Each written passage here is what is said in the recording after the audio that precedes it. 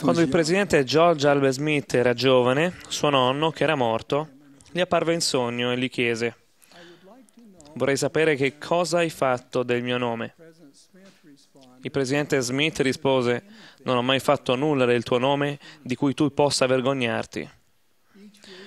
Ogni settimana, quando prendiamo il sacramento, facciamo alleanza e promettiamo che siamo disposti a prendere su di noi il nome di Cristo, a ricordarci sempre di Lui e ad obbedire ai Suoi comandamenti.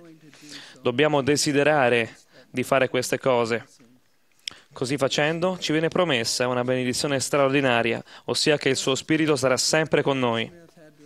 Proprio come il presidente George Albert Smith dovette rispondere a suo nonno di cosa aveva fatto del suo nome, ciascuno di noi dovrà rispondere al Salvatore e Redentore, Gesù Cristo, di cosa abbiamo fatto del suo nome. L'importanza di avere una buona reputazione viene illustrata in Proverbi, dove si legge che la buona reputazione è da preferirsi alle molte ricchezze e la stima all'argento e all'oro. E il nome del giusto è in benedizione.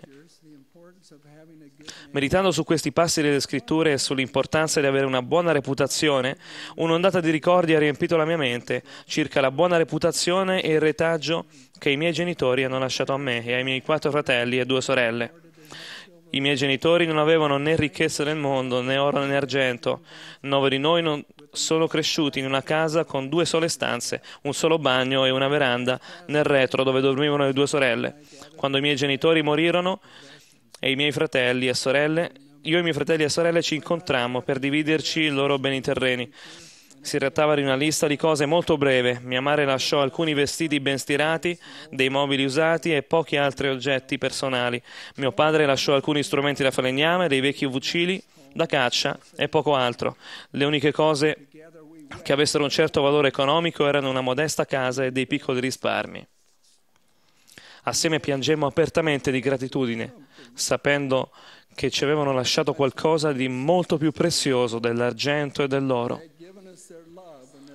Essi ci avevano dato il loro amore e il loro tempo, ci avevano spesso reso testimonianza della veridicità del Vangelo, che ora possiamo leggere nei loro preziosi diari.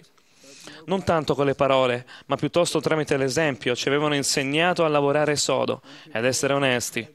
Inoltre, ci hanno instillato il desiderio di portare a termine i nostri studi, andare in missione e soprattutto di trovare un compagno eterno, sposarci nel Tempio e perseverare fino alla fine. In verità ci hanno lasciato il retaggio di una buona reputazione per la quale saremo sempre grati. Quando il beneamato profeta Elaman e sua moglie ricevettero la benedizione di avere due figli, li chiamarono Lei e Nefi. Elaman spiegò ai suoi figli perché furono chiamati con il nome di due dei loro antenati, che avevano vissuto sulla terra quasi 600 anni prima della loro nascita. Disse, ecco figli miei, vi ho dato il nome dei vostri primi genitori, lei e Nefi, e ho fatto ciò affinché quando ricorderete il vostro nome possiate ricordare le loro opere e che quando ricorderete le loro opere possiate sapere come è stato detto e anche scritto che furono buoni. Perciò, figli miei, io vorrei che faceste ciò che è bene, affinché possa essere detto ed anche scritto di voi, proprio quanto è stato detto e scritto di loro, affinché possiate avere quel dono prezioso della vita eterna. Fratelli e sorelle, tra 600 anni, come verranno ricordati i nostri nomi? A riguardo di come possiamo prendere su di noi il nome di Cristo, Così da proteggere la nostra buona reputazione, Moroni ha insegnato e vorrei ancora esortarvi a venire a Cristo, a tenervi stretti ad ogni buon dono e a non, e a non toccare i doni malvagi né le cose impure. Sì, venite a Cristo e siate perfetti in Lui e rifugite da ogni impietà. Nell'ispirato opuscolo per la forza della gioventù si legge la libertà di scegliere un principio eterno dato da Dio che comporta responsabilità morali per le decisioni prese. Sebbene siamo liberi di scegliere da noi stessi, non siamo liberi di scegliere le conseguenze delle nostre azioni. Quando prendiamo una decisione, subiremo le conseguenze che quella scelta implica.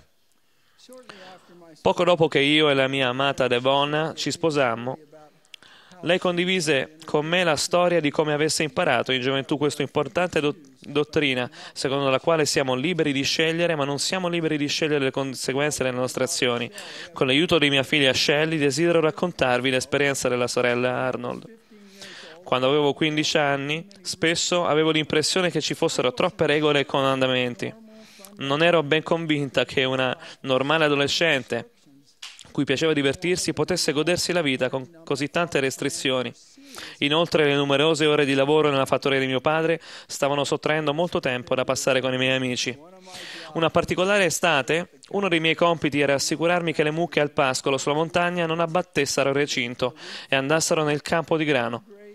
Una mucca che pasce il grano che sta crescendo può gonfiarsi fino a soffocare e morire. C'era una mucca, tuttavia, che cercava sempre di mettere la testa fuori dal recinto. Una mattina, cavalcando lungo il perimetro del recinto per controllare il bestiame, scoprì che quella mucca si era aperta un varco ed era uscita nel campo di grano. Purtroppo mi resi conto che era già da un po' che stava pascolando, in quanto si era già gonfiata come un pallone. Pensai, stupida mucca, il recinto era lì per proteggerti, eppure l'hai abbattuto e l'hai mangiato così tanto grano che ora rischi la tua vita. Tornai rapidamente alla fattoria per dire a mio padre che venisse a curare la mucca intossicata. Tuttavia, quando tor- ritornammo, la trovai che giaceva morta sul suolo. Mi sentii triste per la perdita di quella mucca. Le avevamo dato una bellissima pastura in montagna dove pascolare e un recinto per tenerla lontana dal pericoloso grano. Nonostante tutto, aveva stupidamente abbattuto il recinto e causato la propria morte. Nel considerare il ruolo del recinto mi resi conto che era una protezione, proprio come lo erano i comandamenti e le regole dei miei genitori. I comandamenti e le regole che erano per il mio bene mm, potevano salvarmi dalla morte fisica e spirituale. Questa comprensione costituì un momento fondamentale della mia vita. La sorella Arnold imparò che il nostro benevolo, saggio e amorevole Padre Celeste ci ha dato dei comandamenti non per limitarci, come dovrebbe farci credere l'avversario, ma per benedire la nostra vita e proteggere le, le reputa- la reputazione e il retaggio che lasceremo alle generazioni future, proprio come nel caso di Lea e Nefi, proprio come la mucca che ha subito le conseguenze della sua scelta, ognuno di noi deve imparare che l'erba non è mai più verde dall'altra parte del recinto e non lo sarà mai, poiché la malvagità non fu mai felicità. Ognuno di noi subirà le conseguenze delle proprie scelte al termine di questa vita. I comandamenti sono chiari e ci proteggono. Non sono una restrizione, mentre le meravigliose benedizioni che, deriv- che derivano dall'obbedienza sono innumerevoli. Il nostro Padre Celeste sapeva che avremmo fatto tutti gli errori. Sono estremamente grato per l'espiazione che permette a ognuno di noi di pentirci e operare i cambiamenti necessari affinché possiamo una volta ancora essere uno con il Salvatore e provare la dolce pace del perdono. Il nostro Signore e Salvatore ci invita quotidianamente a ripulire il nostro nome e a ritornare alla sua presenza. Il suo incoraggiamento è pieno di amore e tenerezza. Immaginate assieme a me l'abbraccio del Salvatore mentre leggo le sue parole. Non volete ora ritornare a me, pentirvi dei vostri peccati ed essere convertiti affinché io possa guarirvi? Oggi vorrei lanciare a ognuno di noi la medesima sfida che i miei buoni genitori, che saranno sempre ricordati grazie alla loro buona reputazione, hanno proposto a me. Prima di agire, immaginate il Salvatore al vostro fianco e chiedetevi penserei, direi o farei questa cosa sapendo che Egli è qui? Poiché Egli è davvero qui. Il nostro caro Presidente Monson, che io attesto essere un profeta, spesso cita questo versetto quando parla del nostro Salvatore. Eh, Signore, poiché andrò davanti al vostro volto, sarò alla vostra destra e alla vostra sinistra e il mio spirito sarà nel vostro cuore. In quel giorno grande e meraviglioso, in cui saremo di fronte al nostro benamato Salvatore per dare un resoconto di cosa abbiamo fatto del suo nome, mi auguro che potremo dichiarare io ho combattuto il buon combattimento, ho finito la corsa, osservata la fede, l'espiazione è reale, possiamo essere purificati. Gesù è il Cristo ed è morto affinché potessimo vivere. Questo io lo so, di questo rendo testimonianza nel nome di Gesù Cristo. Amen.